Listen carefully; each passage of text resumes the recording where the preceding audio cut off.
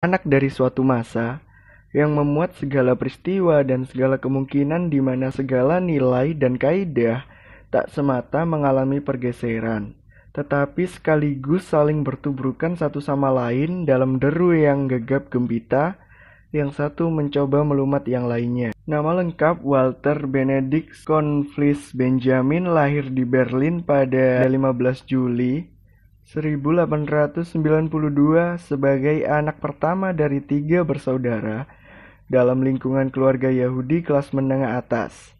Ayahnya, Emil Benjamin adalah seorang pengusaha berlatar belakang keluarga pedagang sukses dari Rhineland. Sedangkan ibunya Paula Conflis berasal dari kalangan borjuis. Keluarga Benjamin mempunyai seorang putri bernama Dora meninggal pada tahun 1946 di Zurich dan seorang putra lain bernama George. Kelak menjadi dokter, bergabung dengan Partai Komunis dan meninggal di kamp konsentrasi Nazi. Sementara itu, nenek buyut Benjamin Brunella Mayer masih keturunan keluarga Van Gelden yang memiliki hubungan kekerabatan dengan salah seorang penyair dan esais besar pada abad 19 Heinrich Heine. Riwayat pendidikan Benjamin bermula dari sebuah gimnasium Kaiser Frederick School di Charlottenburg. Semasa sekolah di Kaiser Friedrich terhenti dua tahun dan dalam jangka waktu tersebut Benjamin mengikuti sekolah asrama Heubinda School di Tsungria. Heubinda School adalah institusi pendidikan progresif yang didirikan pada tahun 1900 oleh Herman Leeds dan sejak tahun 1904 dikepalai oleh Paulus Gap dan Gustav Weineken. Dikenal dengan program reformasi pendidikan berorientasi pada peran pemuda dalam persoalan kultural dan nasional. Weiken juga merupakan tokoh terkemuka sayap radikal gerakan kaum muda atau Youth Movement sebuah organisasi putra yang dibentuk pada tahun 1901 dan dimaksudkan untuk melindungi kaum Yahudi secara politik dan sosial dari ancaman gerakan-gerakan portofasis dan unsur-unsur antisemit yang mulai berkembang di Jerman. Gerakan kaum muda Jerman tidak semata-mata berpusat pada Gustav Weignecken, sosok yang disebut Benjamin sebagai guru pertamanya, melainkan juga terkait dengan lingkaran Stephen George. Istilah ini mengacu pada mazhab sastra paling berpengaruh di Jerman sepanjang dekade pertama pada abad ke-20 yang dipelopori penyair Stephen George. Pada tahun 1868 sampai 1933. Para anggota lingkaran Stephen George, di mana Benjamin Muda sempat terlibat, Selain dituntut untuk setia melayani segala kepentingan Stephen George yang memaklumatkan diri sebagai tokoh puitis mistis, juga berupaya meregenerasi suatu visi tentang bangsa Jerman. Tokoh-tokoh utama di balik aliran selain Stephen George ialah Karl Wolfskel dan Frederick Gundolf, terkenal karena kajiannya atas karya-karya Goethe pada tahun 1921.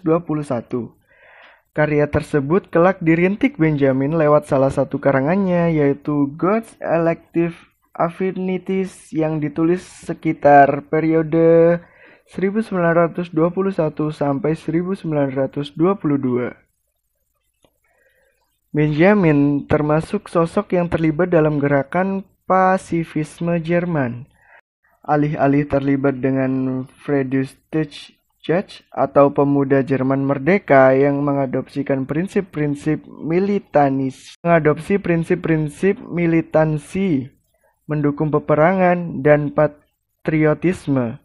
Benjamin justru menarik diri dari gerakan tersebut dan menganggap keterlibatan dalam pemuda Jerman merdeka sebagai bentuk kompensasi berlebihan karena orang Yahudi dituntut untuk lebih patriotik daripada orang-orang Jerman sendiri.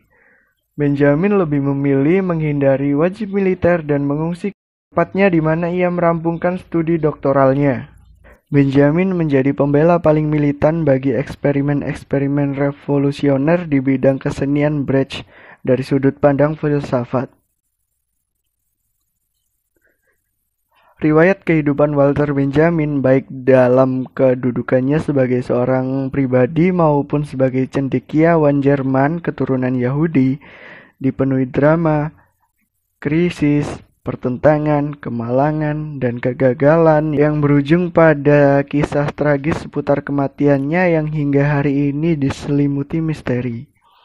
Saya Walter Benjamin, The Work of Art, harus dipahami di antara kerangka program materialistis, yakni dengan mengafirmasi kebudayaan borjuis dan dalam konteks situasi perpolitikan Eropa pada tahun 1935. Seturut argumentasi tersebut, esai Walter Benjamin dapat pula dipahami sebagai usaha emansipasi atau pembebasan manusia dari keterkurungan fasisme politis maupun fasisme teknokratis dalam wujud budaya massa, fetisme, konsumerisme, dan lainnya sebagai titik kulminasi sistem kapitalisme yang pada waktu itu menggejala. Pada titik ini, esai Walter Benjamin adalah kritik ideologi. Pada prinsipnya, demikian menurut Benjamin, karya seni selalu mampu direproduksi. Artefak sebagai buah tangan manusia akan selalu dapat ditiru oleh manusia lainnya. Reproduksi mekanis atas karya seni di kemudian hari akan melahirkan sesuatu yang baru Pernyataan ini menjadi titik berangkat bagi Walter Benjamin dalam menguraikan pandangannya tentang seni di era reproduksi mekanis. Reproduksi mekanis dengan demikian mengacu pada suatu proses kreatif mekanistik yang dapat menghasilkan karya seni relatif baru.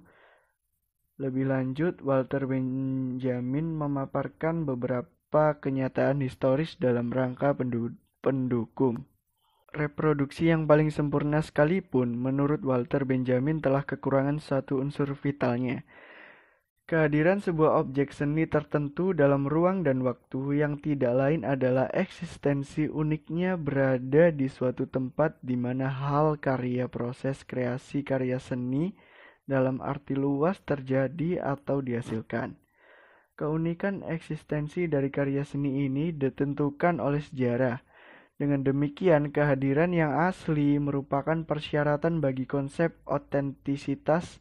Keseluruhan bidang otentisitas ini berada di luar teknik reproduksi dan lebih berpusat pada bidang-bidang yang bersifat konteks sosial historis suatu karya seni. Apa yang menghilang dalam reproduksi mekanis adalah aura dari karya seni. Teknik reproduksi telah membuat objek seni tercabut dari tradisi. Dengan kata lain, aura dimaknai sebagai objek historis yang diilustrasikan dengan mengacu pada objek alamiah. Aura tidak lain adalah fenomena unik suatu jarak bahkan ketika tertutup sekalipun. Keunikan karya seni tak lain tak dapat dipisahkan dari kesatuan dan suatu bingkai tradisi. Namun bagi Benjamin, tradisi ini pun pada dirinya sendiri dapat sepenuhnya hidup dan dengan demikian dapat mengalami perubahan. Bagi Walter Benjamin, aspek paling signifikan berkaitan dengan reproduksi dan penerimaan karya seni abad ke-20 adalah bertambahnya intervensi perangkat teknis dalam prosesnya. Dan ketika diproduksi secara masif, Keaslian dan individualitas karya seni menjadi suatu materi yang diabaikan. Sejauh dipahami bahwa tiap karya sekarang mampu direplikasi. Sebagai konsekuensi, karya seni tidak lagi dalam kependudukannya yang terhormat sebagai sebuah objek ritual atau kultus. Dengan kata lain, karya seni berhenti berperan sebagai objek pemujaan keagamaan kehilangan nilai kultusnya dan mendapati posisi baru sebagai nilai pertunjukan. Lokus perhatian kini berubah dari karya seni yang pada dirinya sendiri merupakan wujud entiti hak istimewa atau privilege menuju titik potong antara karya dan penonton. Kenyataan ini kemudian membuka ruang bagi fungsi politis dari karya seni. Perangkat reproduksi yang sungguh revolusioner karena semakin menegaskan fungsi politis dari seni adalah fotografi. Dampak pertama yang ditimbulkan ialah pada bidang pengertian tentang seni itu sendiri. Semboyan art for art yang oleh Walter Benjamin disebut sebagai teologi negatif Keindahan estetis yang tidak dapat diidentifikasi karena bersifat netral dari berbagai hasrat dan kepentingan-kepentingan tertentu. Berpedoman pada gagasan seni yang murni dengan sendirinya runtuh seperti ditegaskan Benjamin pertama kalinya dalam sejarah dunia.